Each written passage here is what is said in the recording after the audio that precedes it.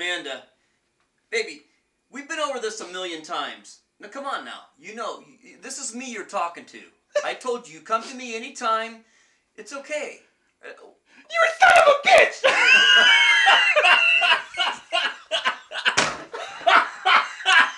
a bitch!